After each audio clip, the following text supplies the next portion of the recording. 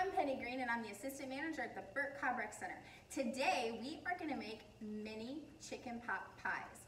For this recipe you are going to need some refrigerator pie crusts, some canned chicken, canned peas and carrots, and cream of chicken soup.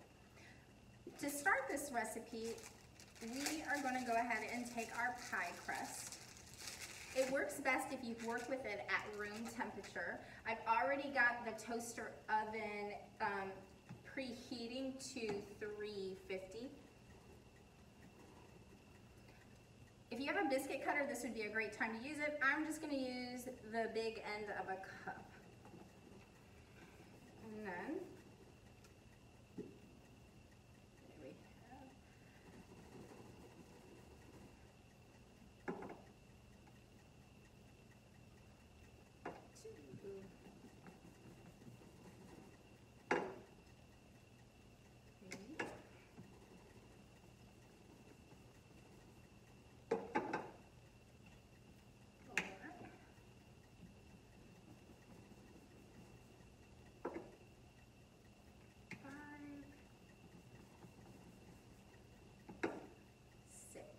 So what you're gonna do now that you have your six bottom crust is I am gonna just take this and set it to this side. Don't discard it because we are gonna need it to cover the top of our pot pies. So you're gonna take your muffin pan, go ahead and use some non-stick cooking spray. I use butter flavor just because who doesn't love butter? And then what I like to do is manipulate them just so they fit in there nice and good.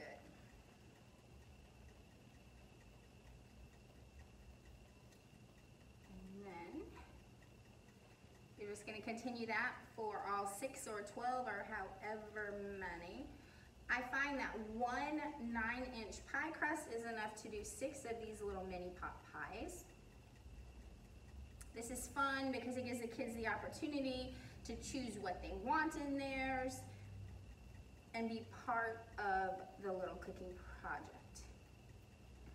This cooking project, because we are working with heat, I would say ages eight and up as far as the mixing and um, the combining and the putting everything together. Definitely adult supervision, taking it out of the oven. So once we have our bottom crust in the muffin pan like that, we're gonna set that aside. Then you're gonna take your ingredients. You're gonna take a can of the canned chicken, the peas and carrots. I just use a small can. And then I've got a can of the cream of chicken soup. If you want it a little um, thinner, you can add some milk, and then you're just gonna mix it up. Kids two and up would be able to help with this part of the recipe. Go ahead and season it to preference. I'm just gonna add some salt, some pepper, and a little bit of garlic. This would be um, option to add frozen mixed vegetables. You could add um, fresh vegetables. Fresh vegetables would increase the cooking time. So once we have our filling mixed together, we are just gonna fill.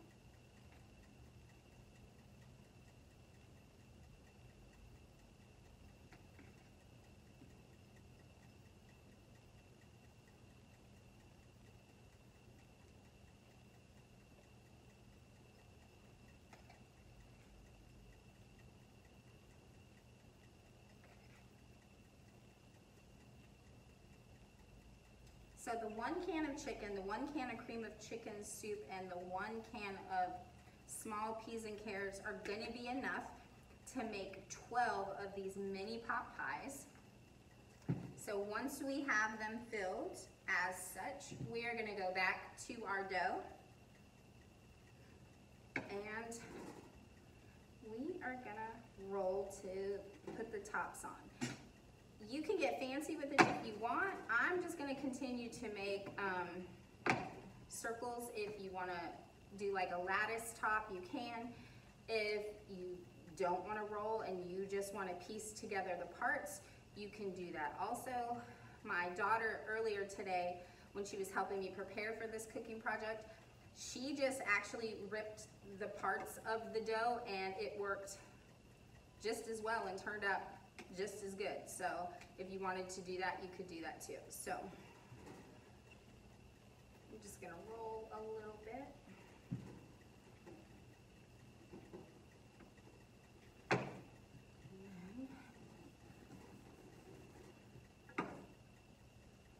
Once again, manipulate the edges. And then when you get in there, I kind of just like to push down and around to kind of seal.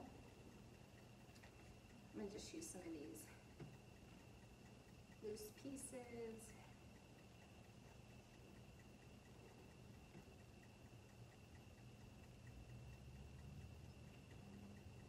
Because when you're cooking with kids, it is an experience. It gives them the opportunity um, to work with different utensils and different appliances. And at the end of the day, you're teaching them about healthy nutrition and being able to make foods that they can enjoy themselves or with little to no supervision. So as you can see, that's how we are gonna get those going. I'm gonna go ahead and set this to the side. Once you get all your little pot pies topped, you can go ahead and take a knife and put little slits in the top. It's not necessary. You can baste the top with butter if you want. Um, it doesn't hurt. I don't necessarily do it every time. It's all about preference. And then you're gonna go ahead and put them in there about 350, 375 for about 25 minutes. So let me show you what those look like when they are done.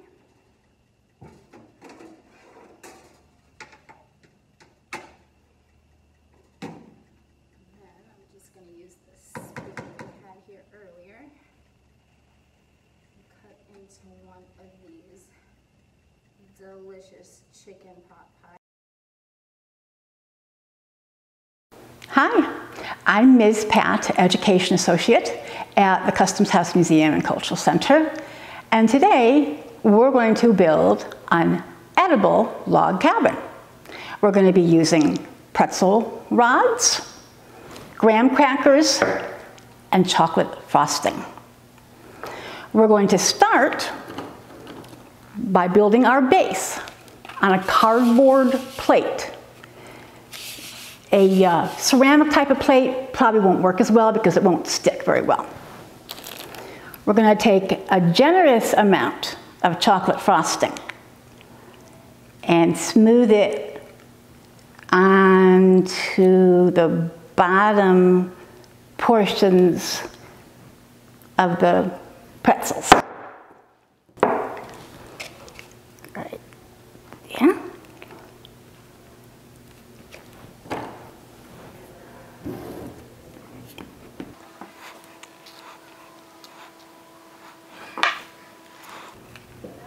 We're going to stick that down on the plate. Then just like the log cabin that we have in the museum, we're going to start to alternate the tree trunks, or in this case, the pretzel logs, as we build up our walls. We're going to use the chocolate frosting at the corners to be like a glue to hold it together. This is an authentic log cabin that we have on display at the Customs House Museum. This is what you think of when you think of what kind of houses did the pioneer and early settlers live in when they moved out west. I want to talk a little bit about how it was put together. The first thing they had to do was to clear the land of any trees that were already there. And then they had to cut down trees. The first things they had to do when they got the logs back to the home site was to trim them and to hew them. It's called hewn.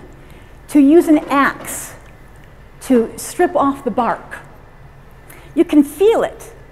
When you come to the museum, you can use your hands and you can actually feel the marks that the axe. Then just like with a real log cabin, we're just going to keep alternating back and forth as we build up our walls. They would lay the logs horizontally,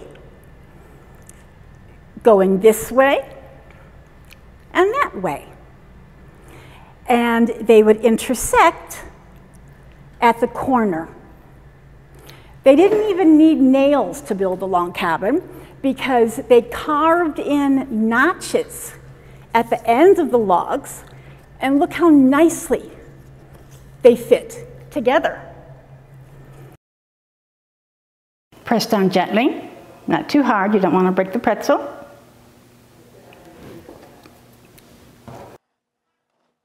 Now notice in between the logs, we have a space, we have a gap. They filled in that gap with something called daubing or chinking. That's where they would mix mud or clay with straw, twigs, even corn cobs and rocks.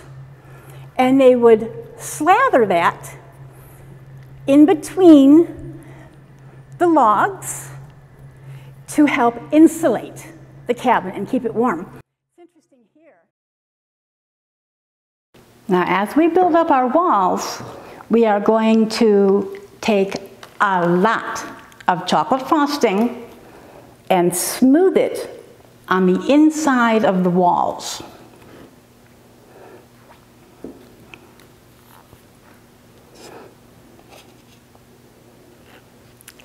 This is like the daubing that they did on log cabins, like the log cabin we have at the museum. As we're doing this, it's pushing the frosting through the logs, filling in those spaces, just like the real log cabin. The inside of this log cabin is typical of a frontier log cabin. It's basically one room. The whole family would live in this one room. It has a loft for sleeping. It has a stone fireplace. All log cabins had that. And that was for warmth and also a place for cooking. It was common for log cabins to have a few windows. However, back in the old days, a lot of settlers didn't have glass, so they would use greased paper as their window. I'm going to spread some more chocolate frosting inside where it needs more daubing. Now, can you imagine what it would be like as a whole family to grow up in basically one room with no indoor plumbing, no electricity, how would you get by? Let's start with their source of light. No electricity, you can't turn the lights on. Let's look around and see if we can find some sources of light. Well, of course, the windows provided light, and then they used candles. We see some candles there that have been dipped that are hanging from the ceiling. This is a candle mold that would have been used to make candles. Now I'm ready to install the roof. We're going to use four pretzel rods for the roof. And we're going to form them as a triangle in the log cabin. using the chocolate frosting as a glue. Let's say you want some butter on your bread. Well, you can't just run to the store and get some butter. You'd have to make your own. Over there, that barrel looking thing with a stick in it, that's a butter churn. You'd have to use the milk from your cows and make your own butter. Now the next thing we're going to do is take another pretzel rod and put it on top of the triangle. Once again, using the chocolate frosting as a glue.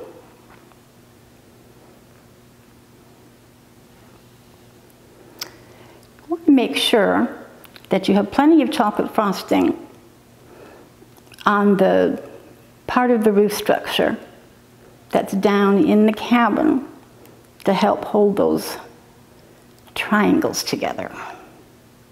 Next thing we're going to do is put the roof on using graham crackers and once again being very generous with the chocolate frosting as glue.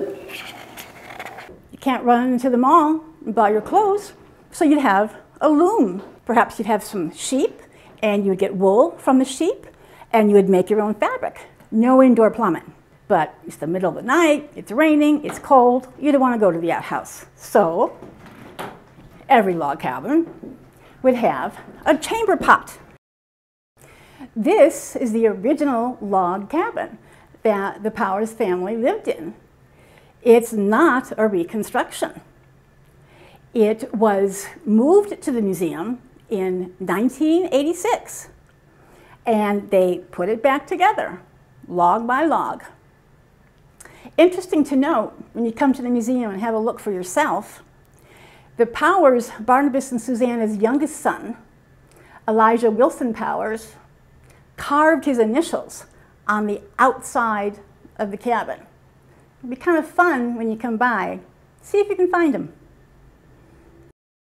Okay, this last part of the roof here is going to overlap the other parts of the roof. So I'm going to put some of our chocolate frosting glue down that side too.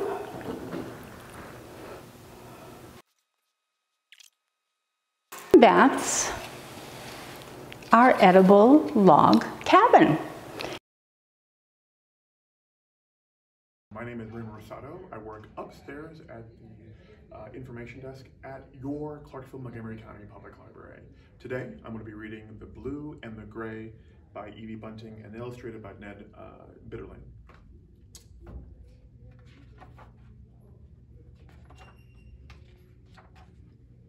My dad and I and JJ Huff, my friend, stand here in what will be our house when it is done. Three doors from us is JJ's house. It's great he'll be that close to me. Above us, workmen hammer nails and talk of baseball games they've seen. Tall ladders lean against the houses, cross beams between like catwalks. The three of us look out across the field, all hillock and hummock, with tufted grasses and stubby flowers, white as new sprinkled snow the kind that grow where, wherever grass can grow. The field will stay the way it is for now. But long ago, my father says, it wasn't always so.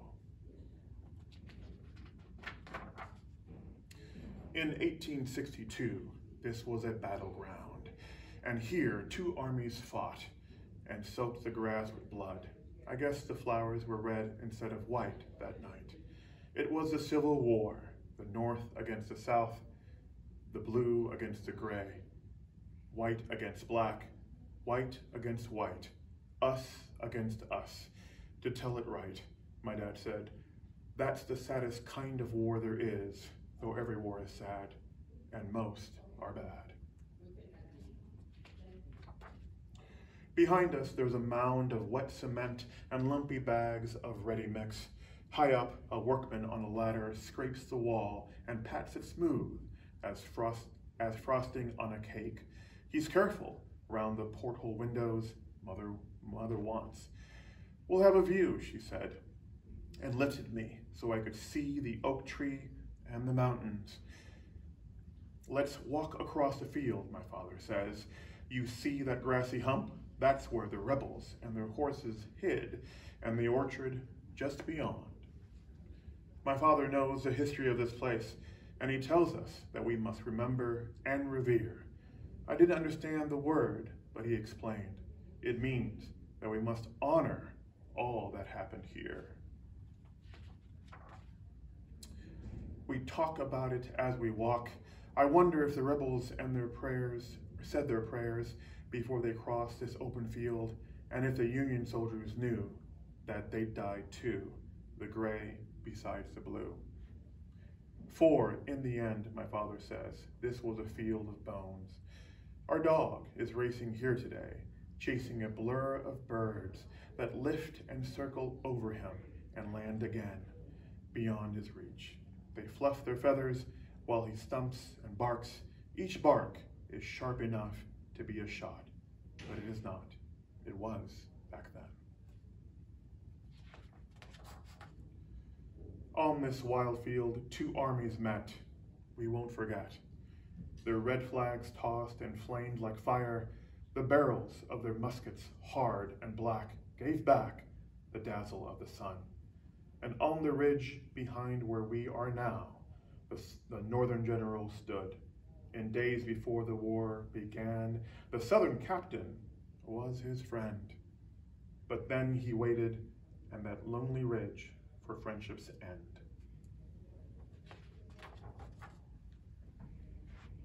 Those two were friends before the war. JJ moves closer still to me. It could have been brother against brother. Sometimes it was, my father says. We'd never, JJ looks at me, we'd never, I agree. The little puffs of smoke burst like gray dust around the barrel of each rifle gun, floated behind them as they'd run, man after man. Hard from the ridge, the Yankee guns re replied, and soldiers died. But at the house, there is the slam of wooden planks on wooden posts. Our air is filled with sawdust and the smell of newness. The high up workman shinnies down and gets a can of Coke. He takes his cap off, hand thick crusted with cement. We're getting there, he says. Soon, you'll be moving in. We grin. He looks across the field. Nice here. Nice view. It will be quiet too when he when we are gone. It wasn't then. The rebels among almost reached the ridge before the Yankee cannons opened up, burst in a cloud of fire and smoke that rose above the trees, ripped legs and arms away. The flag had fallen in the dirt. Another soldier snatched it up. And still they came, through buckshot, bullets, cannon shell. They came and fell. Some ran for cover, others lay like washing tossed upon the grass to dry. Some held their hand handkerchiefs above their heads to show surrender, and their moans and cries were carried, were carried on the battle smoke to heaven. I think the angels wept. Was it hard? Was it as hard as, as war and Desert Storm? My father fought in that. JJ looks closely at my dad. As hard, my father says. Hundreds of men were lost that day, they say. The carts that took away the wounded stretched for miles along the road. We turned to look. There's nothing on the road but passing cars, a yellow moving van, the workers' trucks parked on the side. We turn again to stare across the field. Though there are only birds to see, our dog is gone, moved on to look for dumber birds. It isn't far, JJ exclaimed. It isn't fair, JJ exclaimed. There ought to be a, mark, a marker here. My father nods. There ought to be. So many battlegrounds have disappeared without a name. This one's the same. There'll be no marker here. Except our homes, I say, and all the other homes. All of those days, JJ agrees, when we play football on the field and sled when there is snow. And we will know the way it was and we'll remember. We'll be a monument of sorts, my father says, a part of what they fought for long ago. Maybe they know. I'll see. I'll, I say. I lift a piece of gravel that is lying close to where, we, where the builders dug. Its shape, shaped just like a pigeon's egg, more pointed, flattened on one side. Is it a bullet? A hundred years and, and more, it's lain here. I'll keep it for a souvenir. No. I weigh it in my hand, then throw it high across the field of bones. How silently it falls into the tufts of grass and flowers. The resting birds rise up together, fly. I see their wings, blue and gray, against the shine of the sky. Thank you very much. Have a good day. I'm Gracie with the Clarksville Montgomery County Public Library. And I'm Joanna. Joanna, what song are we going to do for them today? We're going to do the Grand Old Duke of York. And this one, if you're sitting down, you're going to want to stand up, Stand up, stand up. wiggle everything out, get all warmed up. And we're going to go through it slow the first time, and then we'll do some other stuff after. So you're going to, first off, you're going to need to be marching in place. You march in place? And the words go like this. Oh, the grand old Duke of York, he had 10,000 men. He marched them up to the top of the hill and he marched them down again. And when they were up, they were up. And when they were down, they were down. And when they were only halfway up, they were neither up nor down. Good job.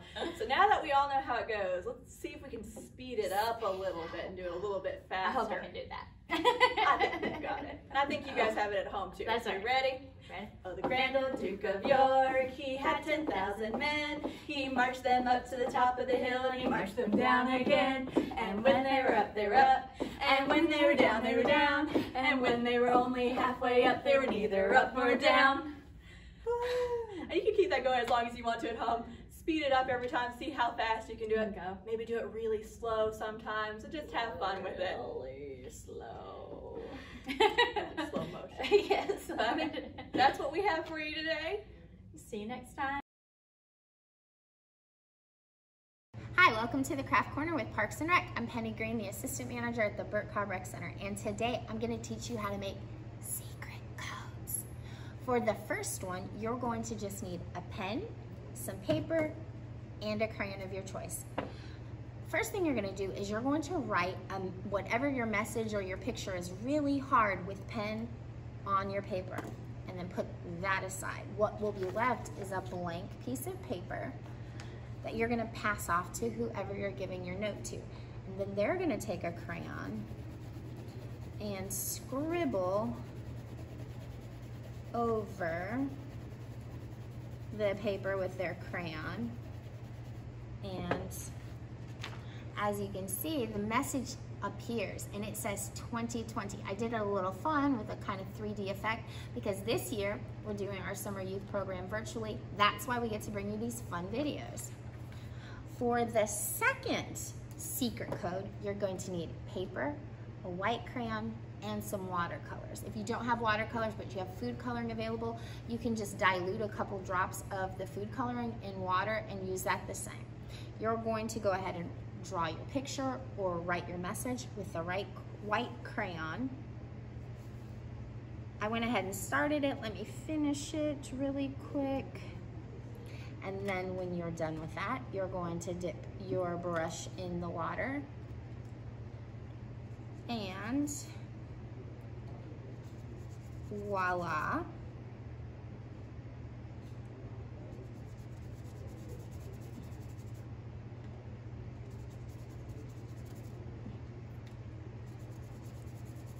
Your message will start to appear.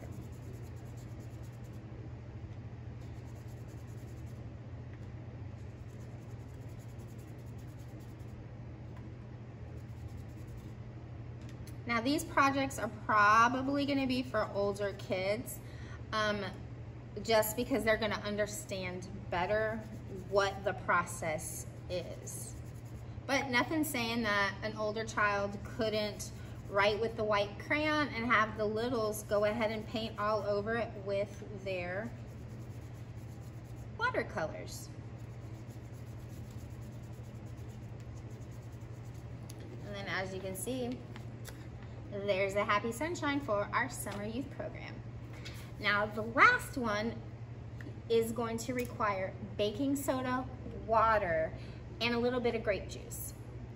And what I've done is I've already went ahead and put the baking soda and the water in a cup. I'm gonna mix it together. For time's sake, I've already prepared my paper. And you're gonna use the Q-tip to write your message on the paper. And then once it's dry, you're going to take your trusty paintbrush, dip it in the grape juice, and magically, your message will appear.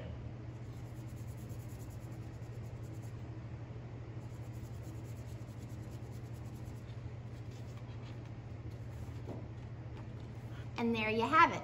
I hope you enjoyed this segment of the Craft Corner with Parks and Rec and enjoy making those secret messages. See you next time, guys.